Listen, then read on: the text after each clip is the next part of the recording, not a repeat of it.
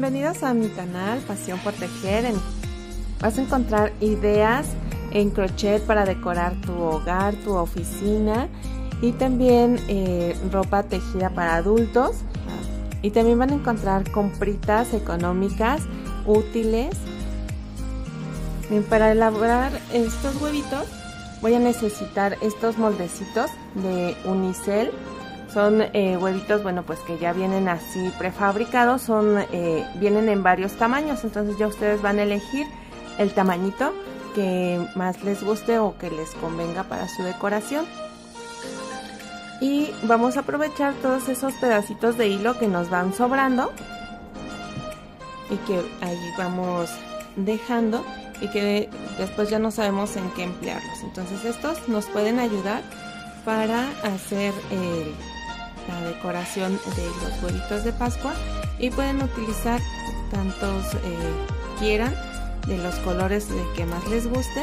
Por ejemplo, aquí tengo estos poquitos que a lo mejor ya no me alcanzan para hacer una labor grande, pero eh, sí les podría dar uso en estos detallitos.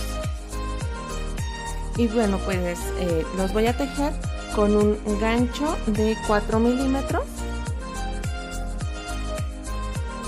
este también voy a ocupar unas tijeritas y ya para la decoración si es que deciden decorarlo si no de todos modos cuando son así de, colores bonitos eh, ya no ocupan así como que mucha decoración.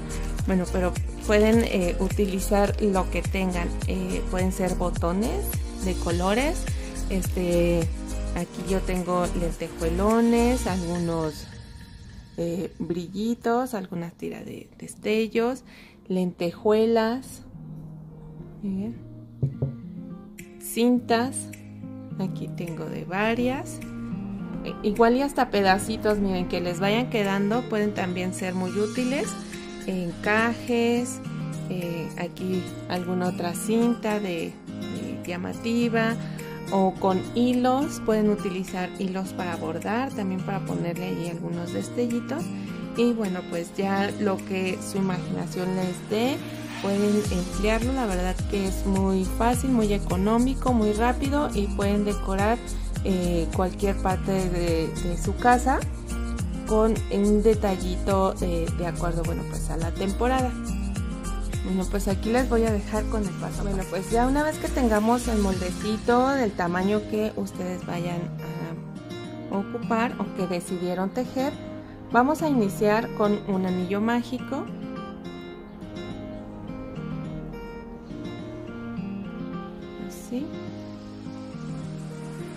Subo con dos cadenitas, tomo mi lazada y dentro de este anillo voy a realizar 7 medios puntos altos. Las dos cadenitas con las que subí me formaría mi primer punto en total tendríamos 8 puntos. Bueno, ya teniendo aquí las 8 puntos, ahora cierro mi anillo. Aquí lo ajusto con esta con esta hebrita que me sobró. Tomo mi lazada y aquí en la segunda cadenita de las que subimos meto mi gancho y realizo un medio punto. Lo voy a apoyar de este marcador para señalar dónde empieza mi fila o dónde va a terminar como vamos a ir tejiendo en espiral no voy a tener marcado el comienzo o el final de mi, de mi vuelta. Entonces ahora en esta segunda vuelta voy a realizar dos medios puntos altos en cada punto de la vuelta anterior.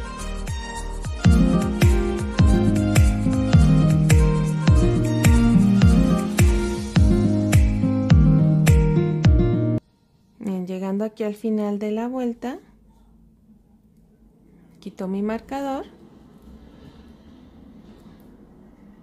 y en esta vuelta voy a realizar aquí mi punto y coloco nuevamente el marcador para saber que allí va a finalizar y o a comenzar mi nueva vuelta.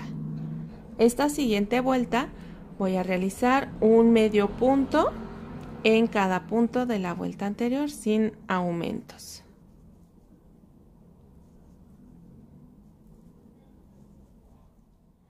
Bueno, pues ya llegué al final, retiro mi marcador, realizo mi medio punto.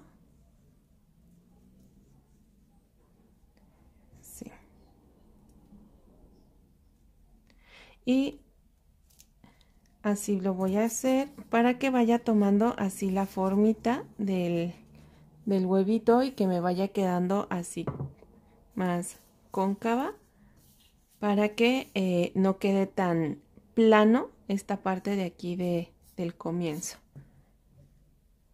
Entonces voy a realizar una vuelta más de aumentos. Ahora voy a hacer un medio punto solito y en el siguiente medio punto dos medios puntos. Uno solito y en el siguiente dos.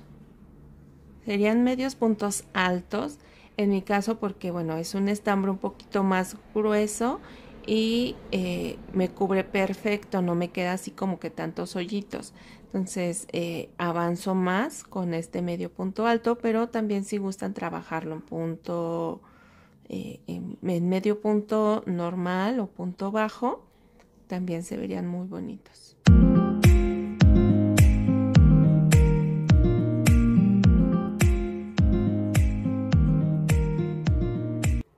la siguiente vuelta, aquí ya quité mi marcador y pongo mi medio punto alto. Coloco nuevamente el marcador y esta siguiente vuelta voy a realizar un medio punto en cada punto, sin aumentos.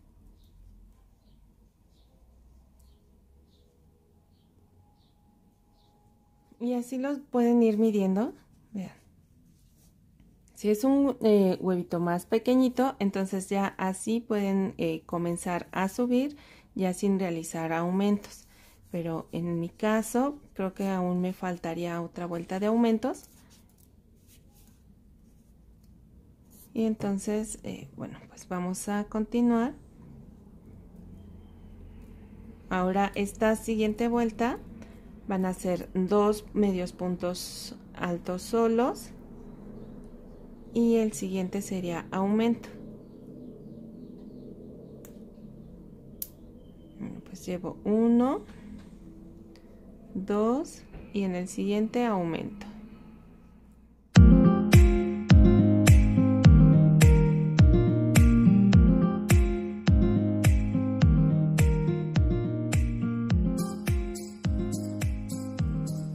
pues esta es mi última vuelta de aumentos entonces ya ahora veo que ya es suficiente que ya de aquí ya puedo subir. Ya sin realizar aumentos para que tampoco me quede muy flojo. Entonces ahora voy a continuar tejiendo así un medio punto en cada punto sin realizar ningún aumento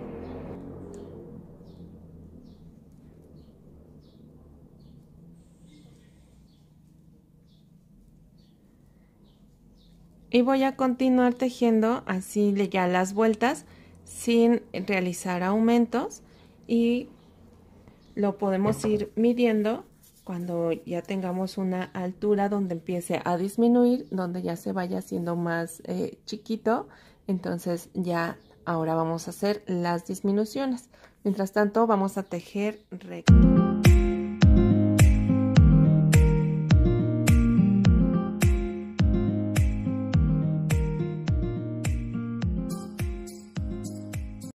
Pues miren, ya una vez que tengan así una altura, eh, ya que vean que ya empieza a disminuir este, el huevito, entonces ya vamos a realizar las disminuciones, las mismas que hicimos de aumentos, ahora vamos a hacer las de disminuciones.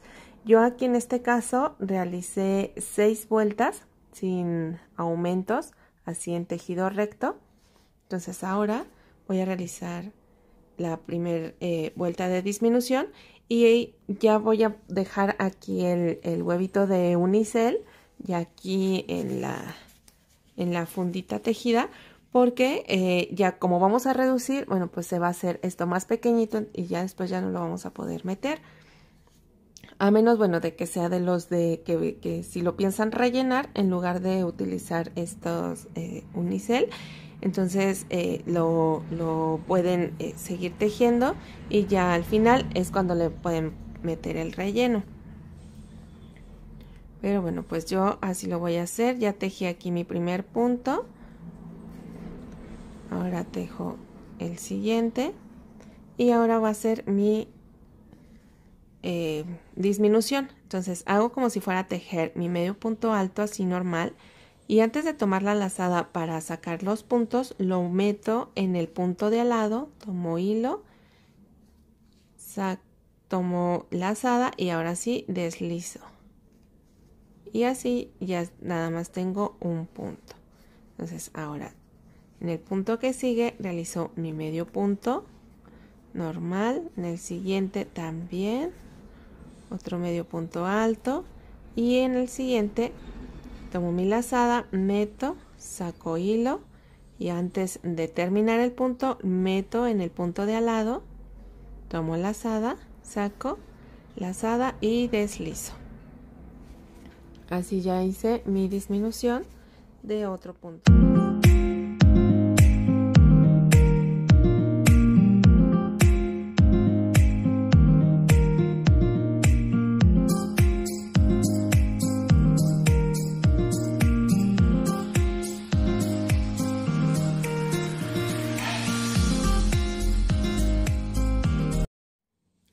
Siguiente vuelta voy a realizar aquí mi medio punto.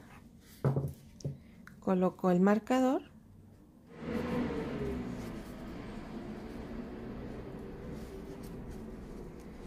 Y ahora continúo tejiendo medio punto alto en cada punto de la vuelta anterior. Aquí ya no voy a realizar aumentos ni disminuciones. Bien.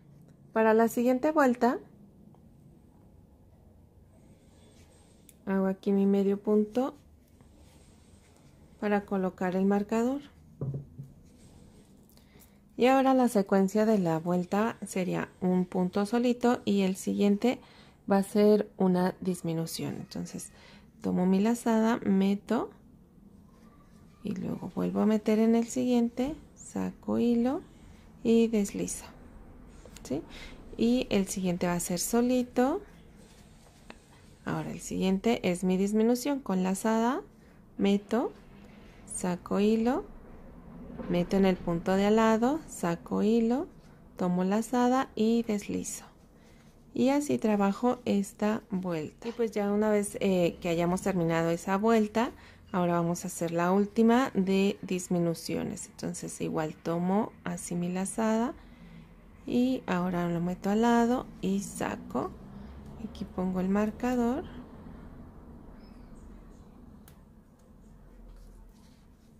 Tomo mi lazada. Ahora ya van a ser solo disminuciones. Aquí tomo la lazada. Meto saco hilo. Ahora en el punto de al lado meto saco hilo tomo lazada y deslizo.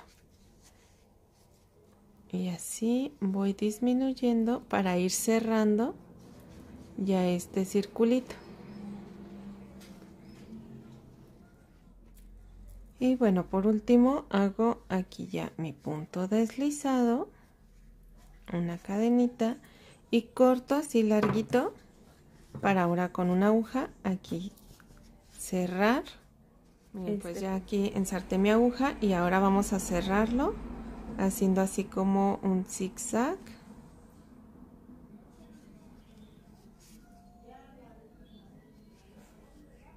Así. Y perdemos el hilo entre lo tejido. Ya nos queda esta parte cerrada.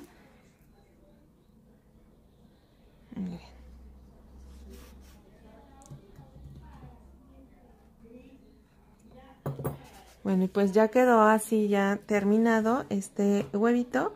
Ya les comento que los pueden hacer así de muchos colores y se van a ver bien bonitos o igual si gustan decorarlos con alguna cintita o así. Yo le voy a poner como unas estrellitas. Bien, pues yo tengo aquí este hilo eh, metálico que también es para bordar. Entonces ya tenía este y se me ocurre ponerle así como unas estrellitas. Entonces así vamos a ver cómo nos salen. ya, ya tenía un nudito aquí, entonces ya queda atorado. Y las voy a hacer pequeñitas, así como un asterisco, hagan de cuenta.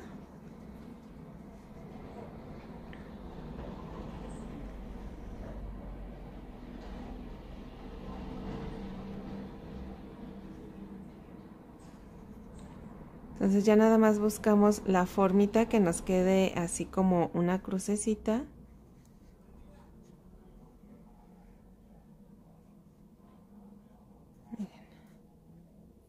Así, lo voy a volver a pasar por aquí.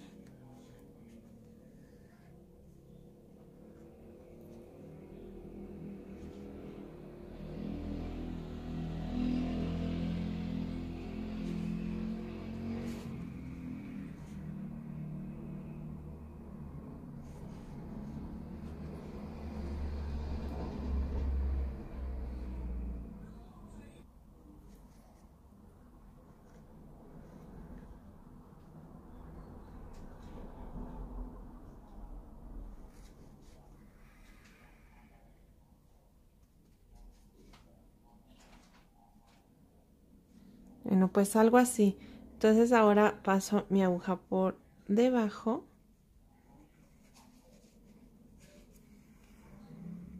Y hago otra de este lado.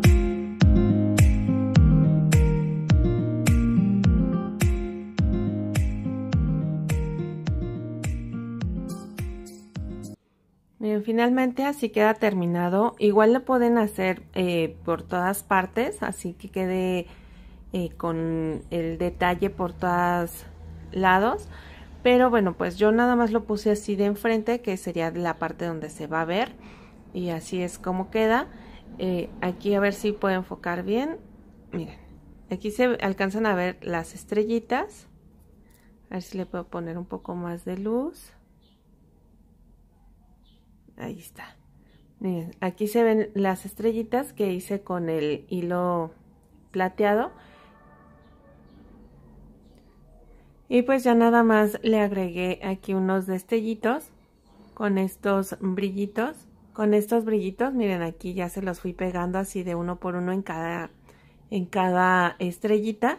Y por último coloqué estas lentejuelas. Aquí las tengo.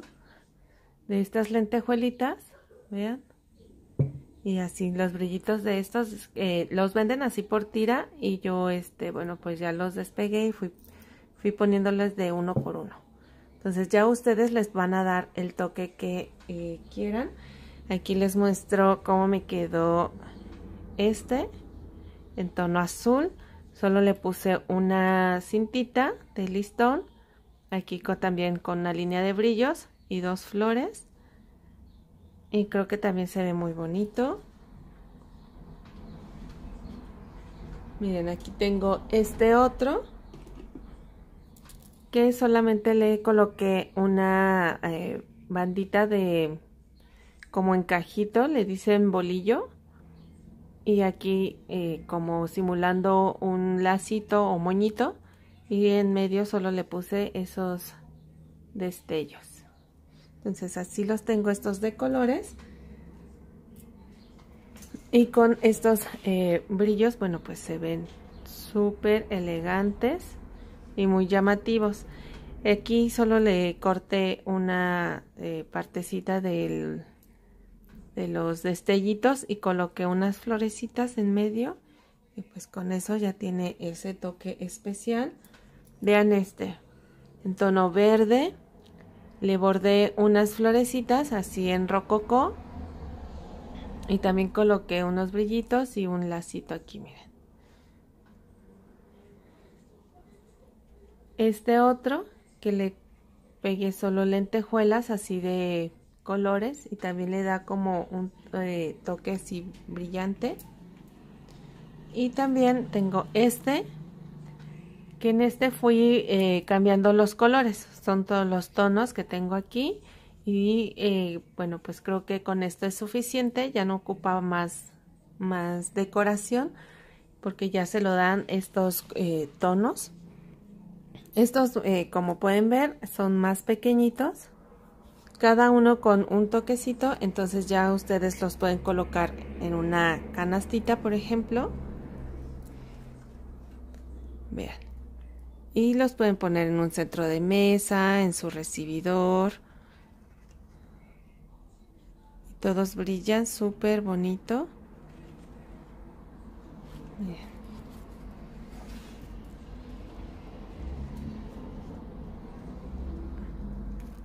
Aquí solo puse un follaje verde.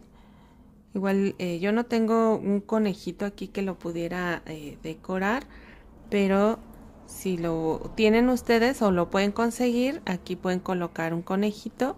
Entonces ya le da ese toque eh, de Pascua, de, de temporada. Los pueden hacer también en un solo tono para que combine con su decoración o ya ustedes eligen eh, cómo darle ese, ese toque especial. Miren. Ay, se ven súper bonitos, se ven muy tiernos. Ya ustedes eligen cómo combinarlos, cómo decorarlos, cómo presentarlos. Ya me muestran aquí en los comentarios qué les pareció esta idea y me pueden compartir sus fotitos, cómo fue que les quedaron estos huevitos de Pascua cómo los decoraron o cómo se ve ese eh, rinconcito donde los pusieron, cómo se ve decorado. Y me pueden enviar sus fotitos a mi página de Facebook o en Instagram. Me van a encontrar como Malvis Tejidos Glam. O también eh, pueden eh, etiquetarme en sus fotos o poner el hashtag Tejidos Glam para que yo pueda ver cómo les quedó. Bueno, pues muchas gracias por llegar hasta aquí en mi video. Nos vemos para la próxima. Bye.